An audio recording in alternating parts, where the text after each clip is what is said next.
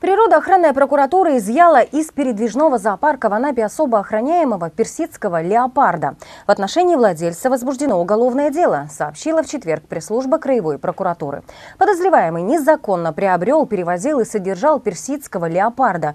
Публично демонстрировал животное в передвижном зоопарке, говорится в сообщении. Персидский леопард принадлежит к видам, занесенным в Красную книгу Российской Федерации и охраняемым международными договорами Российской Федерации.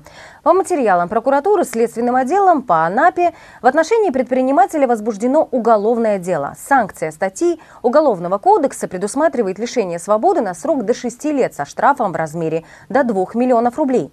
А я напоминаю, что спонсор выпуска новостей – фермерский двор. Новый уровень комфорта для покупателей. Огромный ассортимент продуктов питания и отличные цены можно найти в оптово-розничном комплексе на улице Астраханская, 104.